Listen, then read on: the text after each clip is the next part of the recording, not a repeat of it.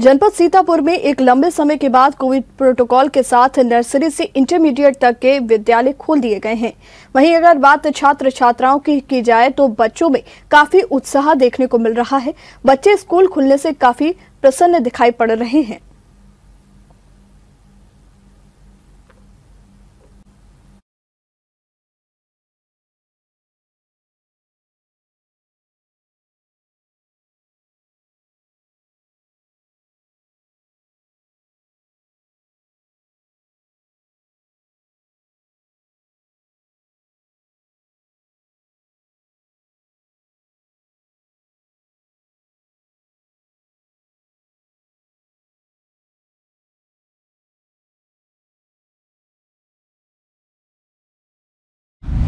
अगर आपको हमारा वीडियो पसंद आया हो तो हमें लाइक करें सब्सक्राइब करें और ज़्यादा से ज़्यादा शेयर करें। और हाँ बेल आइकॉन दबाना ना भूलें, ताकि हर खबर का अपडेट आप तक पहुँचे तुरंत।